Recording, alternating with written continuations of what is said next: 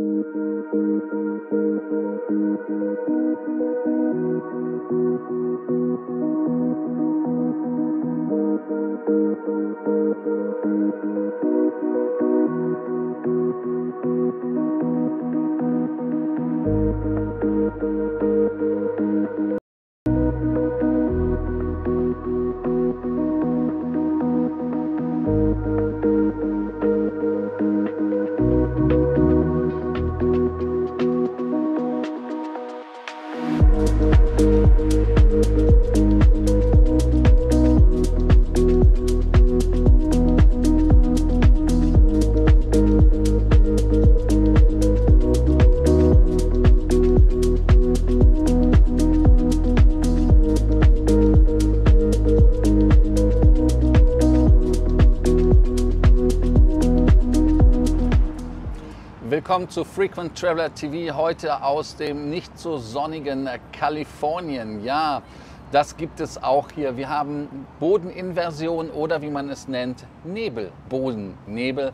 Ähm, bin mal gespannt, der wird sich lichten im Laufe des Tages. Äh, die Jacke habe ich eigentlich an, obwohl man sie nicht braucht. Aber nun gut, was willst du machen? Äh, UV-Belastung ist auch heute nur 1 anstatt 7, also alles tip top.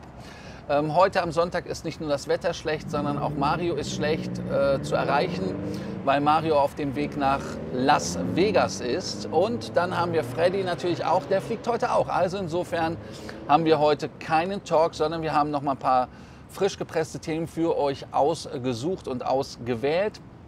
Und zwar habe ich euch die Themen ausgesucht, einmal das Eurowings 120.000 Euro Schadensersatz von der letzten Generation haben möchte für die Berlin-Aktion aus dem letzten Jahr. Wir haben dann Ural Airlines, die wollen wirklich mit dem Flugzeug wieder aus dem Feld herausfliegen. Und in Los Angeles am Flughafen gibt es etwas, was ich richtig geil finde. Und zwar, wenn man ankommt, muss man nicht mehr aus dem T-Bit, also aus dem Tom Bradley International rausrennen, sondern man kann airside bleiben und kann dann ohne Sicherheitskontrolle da dann zu seinem Weiterflug gehen, wenn man einen hat. Also eine Erleichterung und eine Verbesserung. Wir haben dann auch aus Katar Neuigkeiten, die etwas ärgerlich sind. Die First Class Lounge ist geschlossen, aber nicht lange. Das sind etwas mehr als äh, zwei Wochen. So. Jetzt seid ihr aber dran, denkt dran, den Kanal zu abonnieren, die Glocke anzumachen, ein Like dazulassen, aber auch ganz wichtig, unten zu kommentieren. Heute haben wir auch eine Frage des Tages und die Fragen werde ich beantworten nachher. Ich weiß, ich war bei den letzten Fragen ein bisschen lahm, kommt jetzt auch bald, aber Disney ist echt mühselig. Das ist Arbeit, wenn man Disneyland besucht. Erstes Thema, was wir haben, und zwar ist das das Thema Eurowings. Bei Eurowings ist es so, dass die Eurowings ja ähm, in Form der Lufthansa-Gruppe gesagt hat, wir möchten Schadenersatz haben. Und jetzt hat man nach Informationen der Bild-Zeitung festgestellt, dass es eine Kanzlei gibt, die die Schadensersatzforderung gegen die sechs Teilnehmer, die am 24. November 2022 den Flugverkehr in Berlin unmöglich gemacht haben, zugestellt hat. Die Kollegen halt haften gesamtschuldnerisch Heißt also, damit hat die letzte Generation das Problem, ähm, weil man ja zwei Stunden den Flugverkehr gebremst, blockiert und unmöglich gemacht hat. Heißt also im Prinzip, dass man den Störer dann die komplette Summe jedem in Rechnung stellt und dann zahlt irgendeiner schon. Das heißt also, man kann nicht die 120.000 durch sechs teilen und jedem sagen, du 20.000, du. Nee, nee, bis alle 120.000 Euro von denen an die Hansens zurückgegangen sind, ist jeder am Haken. Das ist so. Ähm, Lufthansa hatte das ja auch angekündigt, dass man für den 13. Juli die Blockierer auch in Regress nimmt und dass man das Ganze dann natürlich auch machen würde äh, wenn man bei der TUI ist. Und äh, hier merkt man, man ist hier sauber unterwegs. Hier wird auch während der Sendung gesäubert, finde ich gut. Also auf jeden Fall die TUI, Fly, die Condor und der Flughafen Düsseldorf halten sich ja auch ausdrücklich zivilrechtliche Schritte vor. Und vielleicht guckt man sich das Ganze bei der Lufthansa erstmal an und sagt, wenn die Lufthansa das tiptop gelöst hat, dann ist das in Ordnung. Und äh, ich denke mal, ähm, wenn man das Recht, was es im Moment gibt, ausschöpft, braucht man keine neuen Gesetze. Aber ich bin immer wieder überrascht über die Lautstärke der Fahrzeuge hier. Also ich glaube, das ist nicht TÜV Südgerecht oder wie das so heißt. Nun gut, ähm, ich bin mal gespannt, äh, ob die überhaupt was in der Tasche haben, weil sie, äh, sie labern, sage ich schon, sie, sie äh, erklären uns ja, sie haben kein Geld und da habe ich auch teilweise das, die Befürchtung, dass dem so wirklich ist. Aber nun gut, man muss es halt einfach als Zeichen setzen. Und wie wir alle wissen, gibt es ja vielleicht auch eine Möglichkeit, Knast oder so. Aber ich bin da kein Fachmann, nicht festnageln. Wo ich auch kein Fachmann bin, das ist, wenn es um den A320 geht, wenn man im Feld landet. Und zwar ist es im Feld landen natürlich ähm, eigentlich eine Meisterleistung, wenn man ehrlich ist, denn das Flugzeug als solches ist ja für Feldarbeiten nicht gemacht.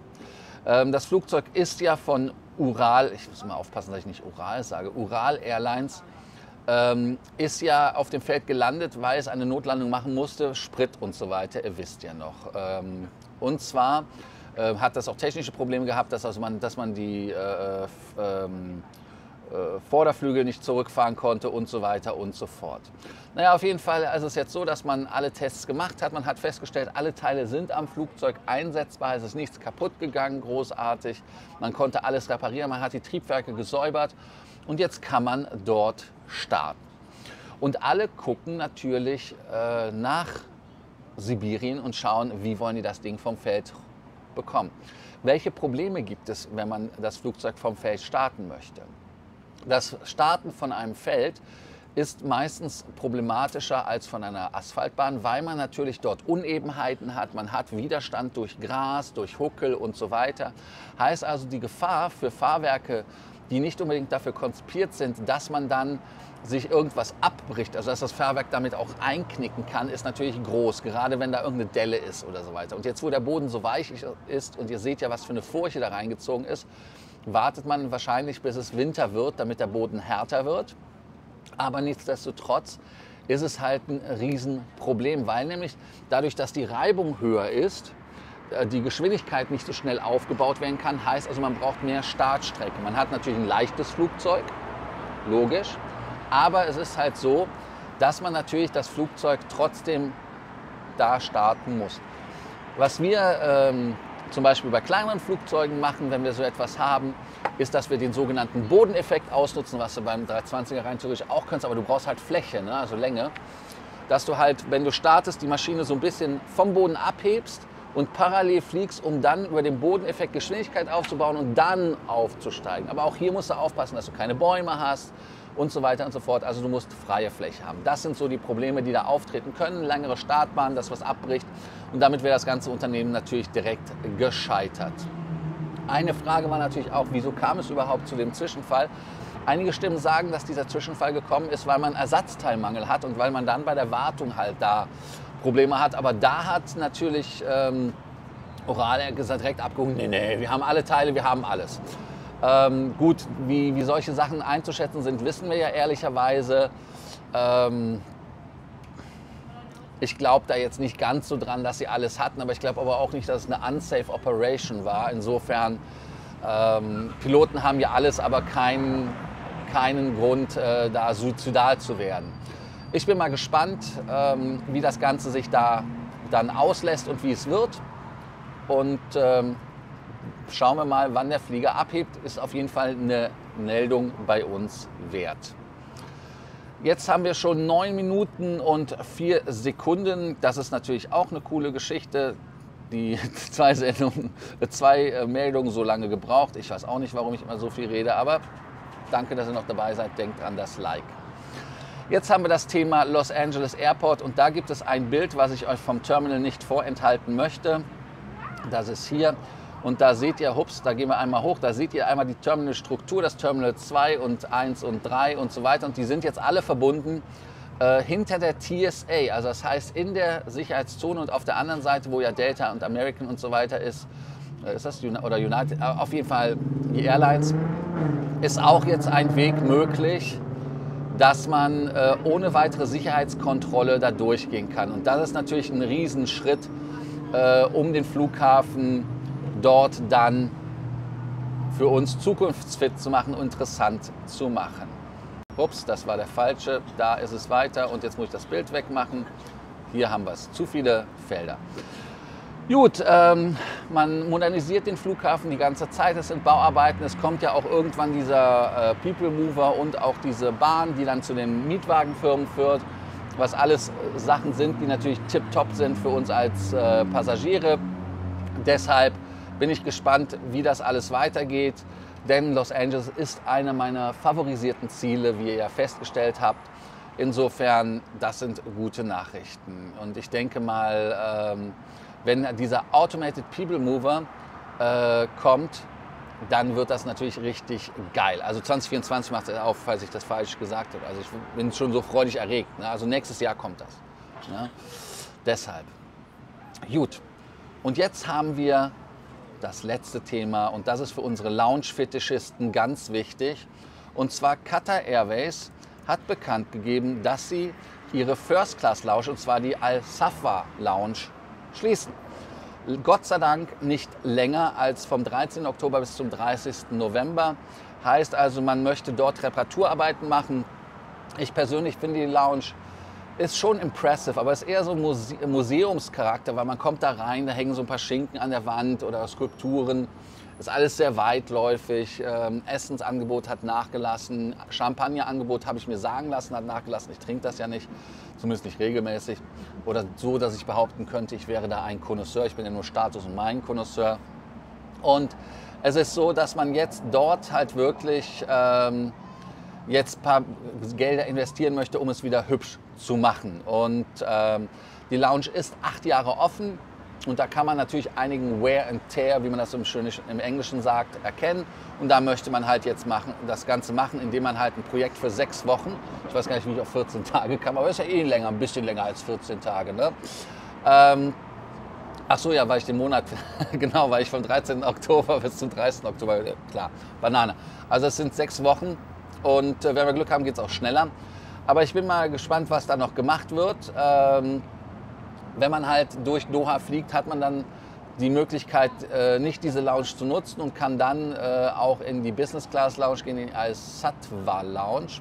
Und äh, die ist ja auch schon auf hohem Niveau, aber leider nicht ganz so ne, wie die andere Lounge. Ist halt so.